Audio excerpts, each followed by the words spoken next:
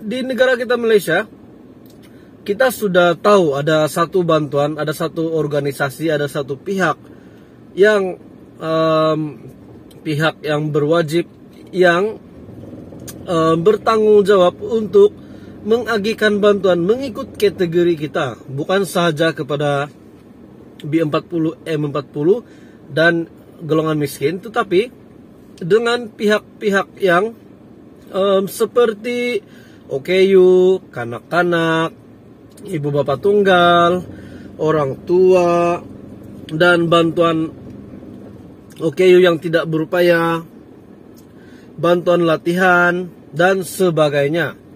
Saya rasa Anda tahu, bantuan-bantuan ini sepertinya bantuan JKM. Ah, bantuan JKM.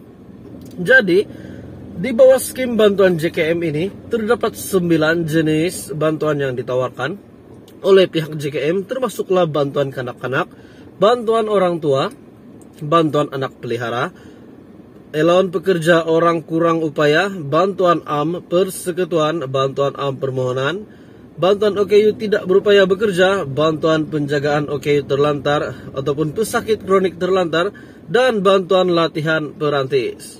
Untuk jumlah bantuan ini, Pembayaran bantuan adalah berbeza-beza untuk setiap jenis bantuan yang saya sebut sebentar tadi. Untuk sembilan jenis bantuan sebentar tadi, jumlah bantuan ini adalah berbeza-beza.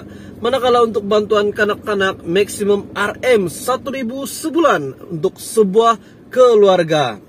Untuk satu keluarga Malaysia, untuk satu keluarga isi rumah ini, untuk kanak-kanak maksimum adalah RM 1000 sebulan. Jadi untuk Anda yang di luar sana yang berkelayakan untuk memohon bantuan kanak-kanak ini RM 1000 sebulan Anda bolehlah kalau tidak tahu untuk berhubung Anda boleh direct ke Jabatan Kebajikan Masyarakat yang berdekatan dengan daerah Anda.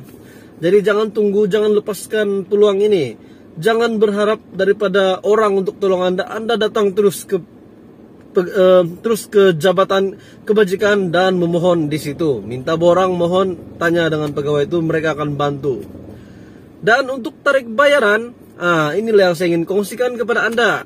Pembayaran dianggarkan, baru dianggarkan sebenarnya. Bermula pada 9 Mac ini. Jadi hari ini 3 hari bulan, hari Kamis. 4, 5, 6, 7, 8, 9. 6 hari lagi, lebih kurang minggu hadapan hari Rabu kalau tak silap. Jadi itu adalah satu salah satu bantuan yang dikreditkan selain daripada BKM 2022. Manakala untuk BKM 2022 saya harap semua penerima BKM Anda tetap bersabar untuk menunggu untuk uh, menunggu bantuan Anda dikreditkan. Dan bagi untuk berita baik kepada semua yang um, semua penerima BKM yang mempunyai yang memiliki ataupun mempunyai account bank BSN tahniah kepada Anda sebab untuk bank BSN adalah bank yang pertama sekali kerajaan akan kreditkan setiap bantuan-bantuan. Jadi, itu adalah satu info yang saya ingin kongsikan kepada Anda. Saya harap itu satu info yang bermanfaat kepada Anda. So, apa tunggu lagi?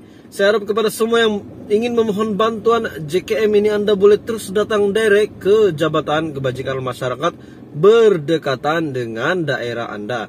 So itu saja petang ini. Terima kasih semua yang sudah menonton video ini. Kepada yang baru dalam channel ini, sila tekan butang subscribe dan like video ini jika Anda suka.